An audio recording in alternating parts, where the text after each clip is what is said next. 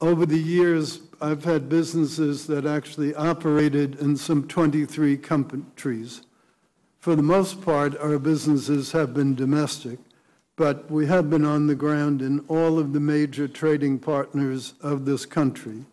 As a result, we know directly both what's good and a lot of the things that are not so good about the trade policies of many of these other countries. I am not anti-trade. I am pro-trade, but I'm pro-sensible trade, not pro-trade that is to the disadvantage of the American worker and the American manufacturing uh, community. I think we should provide access to our markets to those countries who play fair, play by the rules, and give everybody a fair chance to compete.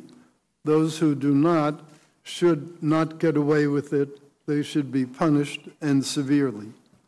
I think that we cannot afford trade that is inherently bad for American workers and for American businesses. But I think there are plenty of opportunities to expand our exports. And I think the number one objective will be expanding our exports. China is the most protectionist country of very large countries. They have both very high tariff barriers and very high non-tariff trade barriers to commerce. So uh, they talk much more about free trade than they actually practice. We would like to levelize that playing field and bring the realities a bit closer to the rhetoric.